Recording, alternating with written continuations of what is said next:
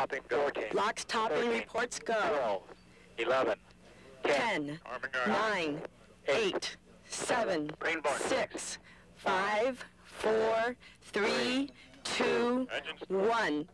Zero. We have ignition and liftoff from Cape Canaveral Air Station of the Air Force Delta II launch vehicle carrying the new GPS 2R satellite. We have had an anomaly.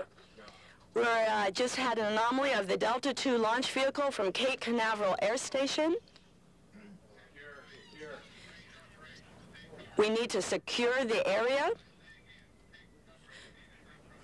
Once again, we had liftoff of Delta II launch vehicle from Cape Canaveral Air Station, and we just had a problem with the vehicle on the pad.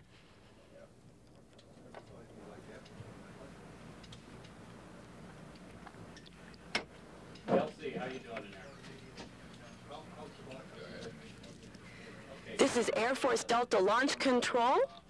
We had liftoff 11:22 a.m. of a Delta II rocket carrying a GPS satellite, and we did have a major problem early into the flight.